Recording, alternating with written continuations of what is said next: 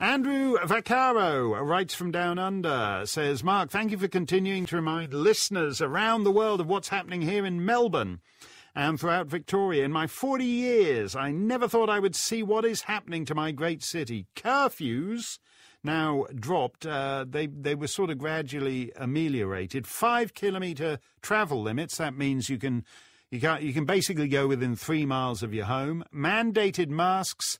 Two hours of exercise permitted a day. Be grateful, Andrew.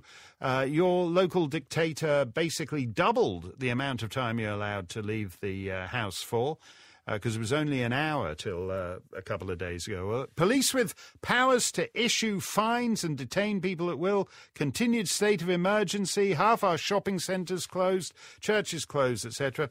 At the centre of all this is our Premier Daniel Andrews, who is not only the worst leader in Australia's history, is now on par to achieving the status as one of Australia's worst human beings, with his continual cruel and unnecessary extension of these lockdowns, which are now three months in from an original six weeks.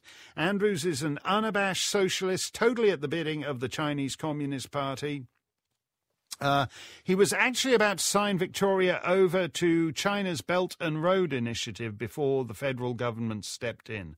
What is worse is that at the moment he is facing increased scrutiny over mishandling of our hotel quarantine program, where he utilised untrained security guards to maintain isolation of infected people rather than the army which drove the major second wave that Melbourne saw, leading to the death of over 800 people, mainly in aged care, much like what happened in New York. I've never despaired as much as I am now. That's right. This actually, just, just on that specific point, Andrew, this business, people say, well, you know, when bad things happen, people trust in government more. That uh, when you when something novel and unknown hits, uh, you look to your government uh, more than you might in times of normality. Well, if you do, more fool you.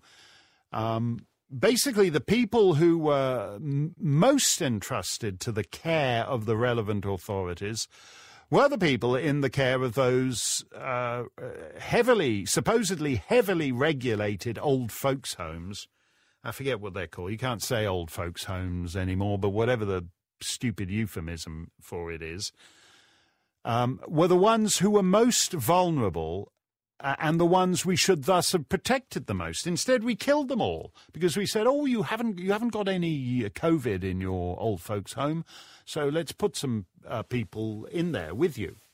And uh, you have situations uh, like in in the United Kingdom, forty percent of the deaths in the UK are people who died in those old folks' homes. In normal circumstances, that would be enough to end my dear friend Boris's term as prime minister because he bungled the whole bloody thing. If if if the most if COVID is this stupid thing where we're regulating the lives of perfectly healthy 22 year olds uh, to protect octogenarians and nonagenarians.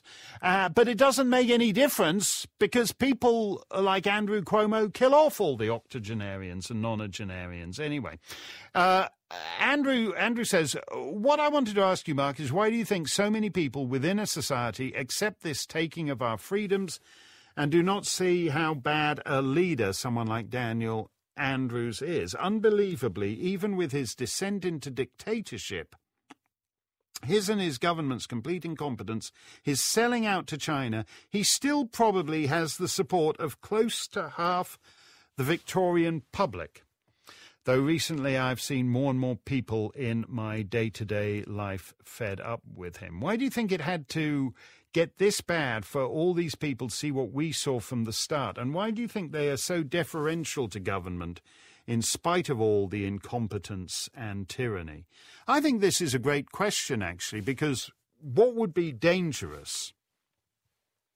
You can have a lot of bad indicators about a society. You can have high inflation, uh, or you can have poor education results. But there's something more fundamental It's a little bit in After America about this. When when a people lose the habits of liberty, when they lose the habits of liberty, that is thinking as a free person, that is thinking on the basic common law proposition that unless something is expressly forbidden, it's permitted. In other words, that it, the onus is on the government uh, to justify uh, that small number of things it forbids.